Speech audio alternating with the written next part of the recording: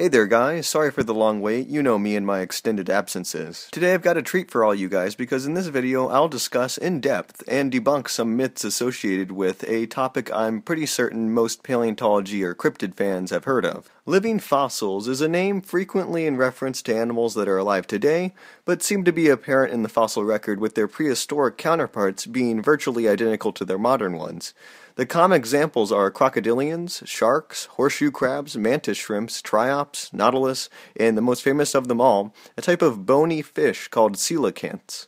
A ton of misinformation surrounds these animals, and often they are misused to promote pseudoscience agendas such as cryptozoology and creationism. Ever since I've been introduced to the cryptid community and studied the late surviving dinosaur, pterosaur, or plesiosaur phenomena, I've been consistently met with a common argument whenever either I or someone else questions how giant reptiles surviving the KPG mass extinction could have evaded discovery in the fossil beds after the age of the dinosaurs. Surely, I say, we would have discovered some evidence of dinosaurs or pterosaurs or whatever in the fossil record after the Cretaceous by now. Surely we should have discovered the fossils of mammoths or humans alongside sauropods and tyrannosaurs dinosaurs if they really coexisted alongside one of another. The response I get typically goes like this Living fossils, the coelacanth crocodiles, horseshoe crabs, sharks, and mantis shrimps haven't changed in millions of years since prehistoric times and coexisted alongside dinosaurs yet survived. Coelacanths were once thought to be extinct around the same time as the dinosaurs and have no fossils after the KPG, but they were discovered to still be alive. Clearly, dinosaurs are still alive out there somewhere. All over the place I see people saying coelacanths, the fish that refuse to evolve, or coelacanths disprove evolution, or living fossils prove dinosaurs and humans coexisted. Muslim creationist Harun Yahya says countless living fossils have remained unchanged for millions of years, and their current anatomical structures are exactly the same as they were millions of years ago. The fossil record is almost complete with both animal and plant specimens demonstrating this. It definitely and scientifically refutes evolution. Here's an interesting gem from creationist Ken Ham's Answers in Genesis website. Now, here's a point. No fossils of coelacanths have ever been discovered in the same layers as human fossils. I'll address this later. But they have been found in the same layers as dinosaur fossils. Yet we know coelacanths and humans do live together, because they do so in the present world. In other words, just because we don't find fossils of certain creatures or plants together with humans in the fossil record, it doesn't mean they didn't live together. Hmm. This logic is mistaken, but I'll explain that later.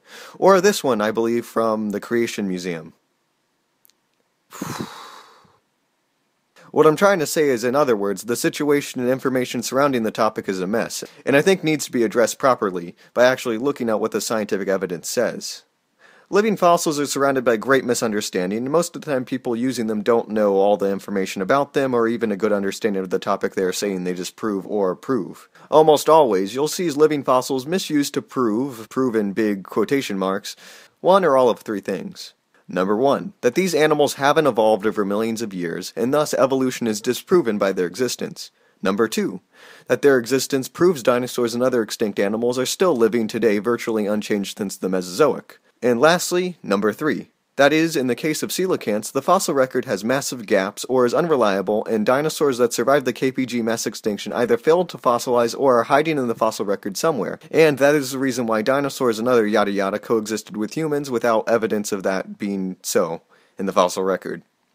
The usual suspects are creationists, and man, do they love to talk about these guys. You name it, Christian or Muslim, almost all creationists use living fossils to try to prove one, if not all, of those things. I think it's about time someone put some science up in this thing, so I'm going to look at all the scientific evidence from scientific journals and papers and see if any of these points are actually valid. Alright, let's address the first claim that living fossils don't exhibit evolution over millions of years and as a result, disprove evolution exists. It's funny when creationists bring this point up, as Charles Darwin himself was the one who first coined the term living fossil, and in his usage of the word, he explained perfectly why something like this should exist in accordance to evolution. In uh, The Origin of Species, when referring to several species of freshwater fish, such as lungfish, which are related and resemble the fishapod ancestors of all tetrapods, Darwin explained that these anomalous forms may also be called living fossils. They have endured to the present day from having inhabited a confined area and from having thus been exposed to less severe competition. Let me explain what Darwin said here. It's not that such animals have stopped evolving or haven't evolved at all since prehistoric times, it's that these animal populations have only evolved at a slower rate than other animal populations. The important thing to remember about evolution is that the rate at which it goes is relative to the environment an organism population is in. Some environments with very competitive selective pressures will force organisms to evolve at a rapid rate, while ones with lessened selective pressures will contrastingly slow the rate of evolution. Evolution at its core is merely a game of population genetics. In an organism's population, specific genes are favored over other genes. This is decided by selective pressures in the environment, such as predators, the ability to access food, and the ability to mate with another of your species. Natural selection blindly weeds out genes that restrict an animal's ability to reproduce, in favor of those that more effectively allow an animal to reproduce. Gradually, over several generations, the only genes left in a population are those that are most effective in allowing an animal to reach reproductive age. Eventually, an animal population will reach a point where natural selection has refined the population to the point that the population can refine itself only minimally. That's right, evolution basically works like this. If it ain't broke, don't fix it. If a population does just fine in the niche or role it has in the environment currently, and the environment is stable with very little change, then selective pressures will lessen and the population will only favor traits already shown to be successful, thus slowing the rate of evolution. The phenomena is called stabilizing selection, which is the continuation of natural selection favoring the pre-existing body plan. The process occurs when basically an organism has become so perfectly evolved for a job, and their environment has remained in stasis that the population has no need to change beyond what is already had. This is especially true for animals listed as living fossils, as their roles in the environment are relatively constant throughout history.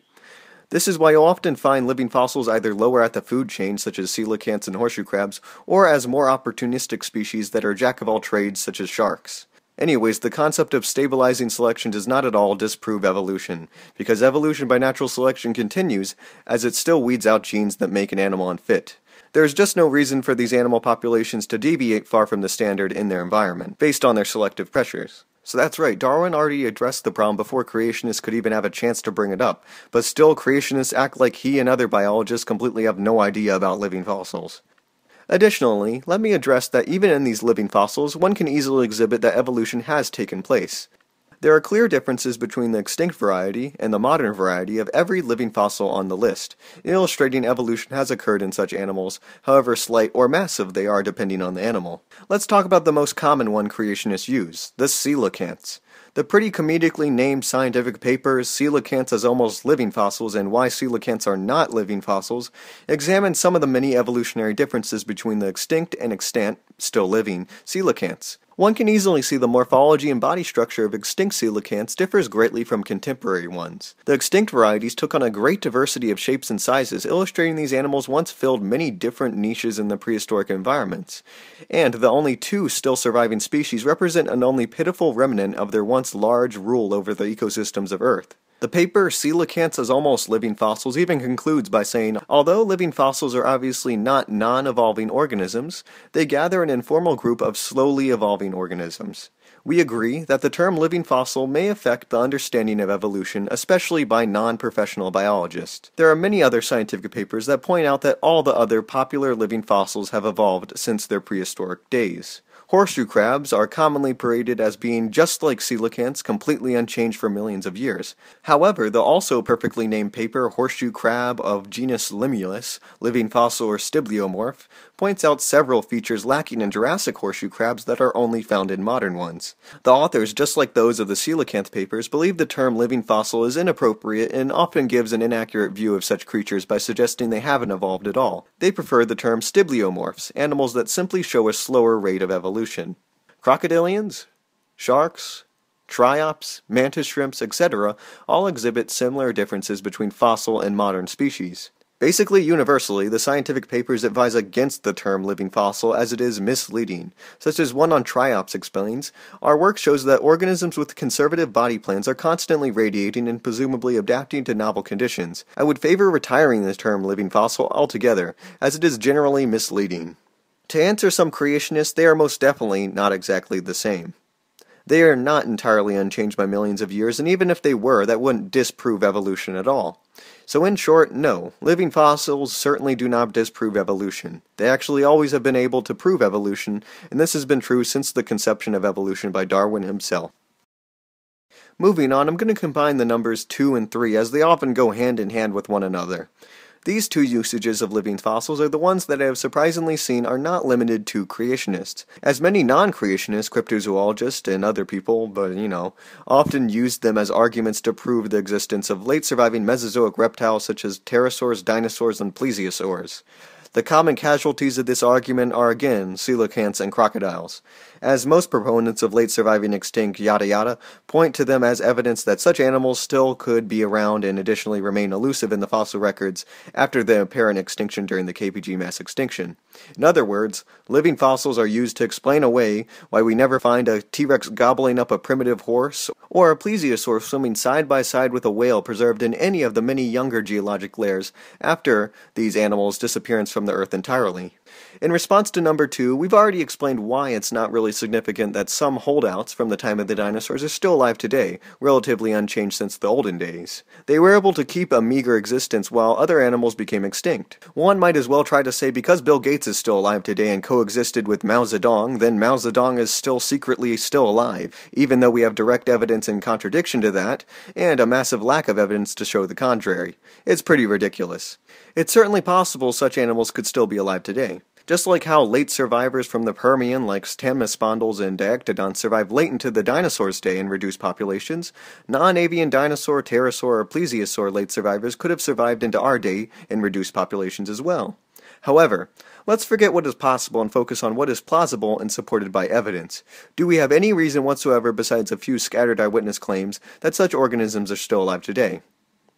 Well, no, we don't. Of course, absence of evidence is an evidence of absence, but that doesn't mean absence of evidence is evidence either. Ugh, that's a mouthful. By just saying the possibility is there isn't evidence of something's existence. That is the logical fallacy of argument from silence. By that logic, I could easily say Darth Vader exists somewhere out in space because space is so vast, and you can't prove he doesn't not exist. Well, anyways, the fossil record simply doesn't give credence to late surviving Mesozoic fauna, in contradiction to what many cryptozoologists and creationists claim.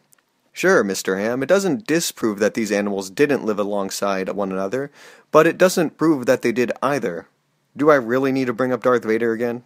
But what about the coelacanth, you say? It has no evidence that it survived the KPG mass extinction, but was still found alive today. Clearly, other animals could be resurrected from being classified as extinct too. Well, my humble straw man, that's where I'll address number three. Proponents of late surviving yada yada yada use living fossils, specifically the coelacanth, to prove that the fossil record has gaps in it that make it unreliable for telling if an organism really is extinct. And to some extent, this is true. The fossil record is full of gaps. Online, you'll be able to find a list of many organisms that have a very, very spotty fossil record, with sometimes vast amounts of time between fossilized remains. However, it is crucial to understand that this spotty record is not universal to all organisms. The fossil record is in fact very biased to certain organisms, and sometimes it favors the preservation of some animals over others. The reason the fossil record on some groups are so scarce while others is extremely rich is because of the rarity of fossilization and how the process occurs. The process of fossilization occurs very rarely and in very specific conditions. For an organism's remains to become a fossil, it must be quickly covered with sediment so that scavengers or the elements don't destroy it instantly. This is why fossils normally form in riverbeds or at the sea floor, areas where silt or sand can cover the body before it can fully decompose. In this process, soft tissues such as organs and skin are normally lost to decomposition, only leaving hard structures like bone. As a result, organisms with hard body parts fossilize more often than ones with entirely soft body parts. Additionally, the harder and more durable your remains are, the more likely they are to be fossilized. This is the reason why we have a hard time finding the cartilaginous skeletons of sharks in the fossil record, but have a very easy time finding their calcified teeth. This is additionally the reason why coelacanths are especially spotty in their appearance in the fossil record. The bones of coelacanths are fragile, small, and subsequently have a low potential for preservation. In addition to them being ever increasingly rarer even before the dinosaurs became extinct, and difficult to identify even by some of the most skilled paleontologists, one can spot why scientists prior to their rediscovery during the 1930s didn't have any fossils to show they were still alive after the dinosaurs. And, this is really going to blow your guys' minds, even with the extremely low potential for fossil preservations, we have successfully discovered the fossilized remains of coelacanths between the KPG and now. A Swedish Paleocene coelacanth and a Miocene coelacanth has since bridged the gap, meaning the 60 million year old gap boasted by creationists no longer exists. Like, at all. Even so, do dinosaurs and other extinct reptiles suffer from the same issues of lack of preservation as coelacanths? Certainly not. This is why using the fossil record of coelacanths as an analogy to the fossil record of post-mass extinction dinos simply doesn't work.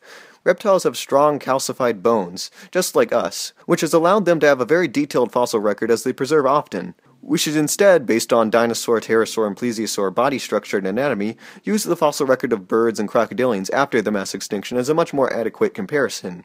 We've found thousands of crocodilian and bird fossils between the dinosaurs and now. The fossil record after the Cretaceous is by no means poor. It's probably just as rich, if not richer, than the previous periods. And as a result, we've been able to find literally thousands of tiny evolutionary transitions from that period to now, but not any dinos. If there are post-KPG dinosaurs, pterosaurs, or plesiosaurs left undiscovered in the fossil record, they are hidden much better than an extremely rare type of fish whose bones seldom fossilize and whose remains are not as easily identifiable by scientists as those of any dino, pterosaur, or plesiosaur. It's almost as if there weren't any of those creatures, because statistically we should have found them by now, long before we should have discovered post-KPG coelacanths. So it's gotten to the point where either non-avian dinosaurs and similar reptiles became extinct when they disappeared in the fossil record, or paleontologists are just extremely unlucky as these animals have evaded being fossilized in every single fossil formation since the time they disappeared thus far.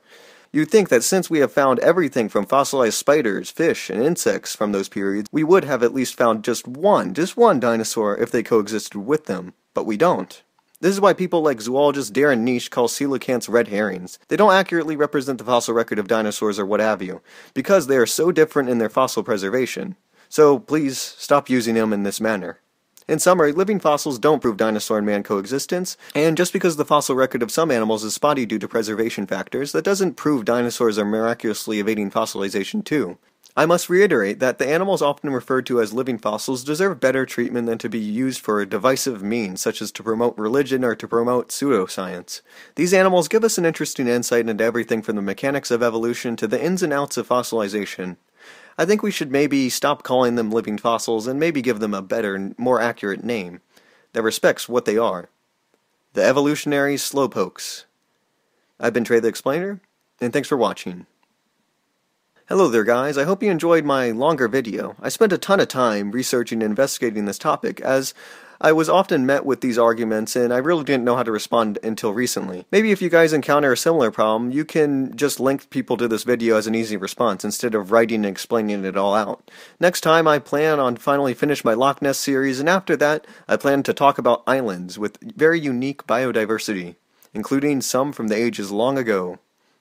Okay, see ya.